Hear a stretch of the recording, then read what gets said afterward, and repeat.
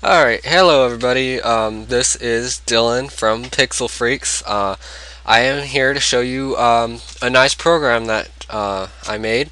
Um, you can go to my website at www.pixelfreaks.freehosting.com and uh, there's a download link and a little description about it and some screenshots.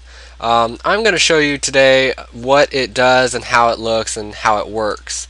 Alright, so what you do is you open it. You don't even have to install it. You just, just you just open it, and it lets you put custom input settings um, to make it look. It'll open a window that looks exactly like the Windows system properties, but it will have custom specs.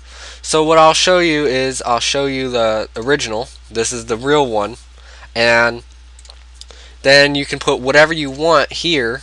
I'll put a 7.9 rating we'll go with 16 gigabytes of RAM and I don't know any 6 cores so I'll just change my quad to a 6 which that doesn't look legitimate so you obviously need to um, do a research find a good look find a legitimate looking um, find a legitimate find a 6 core and use that don't use uh, don't just change it like I am because it doesn't look real. Um, so uh, that's what you can do and then you'll click display output and it's letting you know make sure your settings look legitimate because if you're going to try to fool people with your settings you want it to look real. Now this is my this is the one my program made and it looks exactly like the real one. I mean you can't even tell the difference.